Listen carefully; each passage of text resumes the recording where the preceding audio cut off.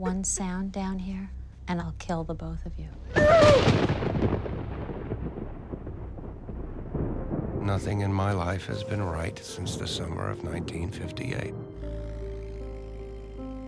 One, two, three, four, five, six, seven, eight, nine, ten. Time when even the guilty displayed a rare innocence.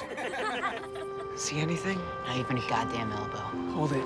Hold it. Wait, wait, wait. He wants to sleep over there again. What, next door? I'm Meg.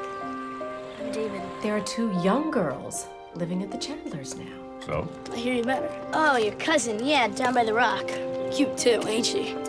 What's that? They were in an accident. Both parents died too. Mom says they must have died instantly. He just dropped by to get this to David. She's something, isn't she? Mrs. Chandler must love having her around. Tent worms. I'll do this one, and you can do the rest, okay? I don't want to. David, Hey, Meg, how's it going? I haven't eaten in almost two days. Ruth hates me. We all do. I don't care what you do anymore. Bitch! Your sister is a goddamn bitch! Nothing I ever do is right.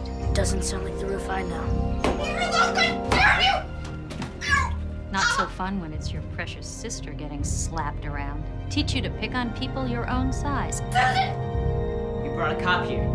After my mother! Best policy, mind your own business. That's how you stay out of trouble. So you think any more about it? About what? Getting Meg into the game? We got our own game now. You want to think about one thing, girl. Well, two things, actually. First, it could be your little sister hanging here instead of you.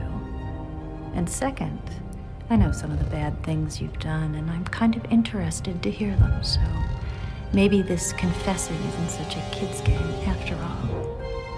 I can hear it from the one of you, or I can hear it from the other. You just think about that.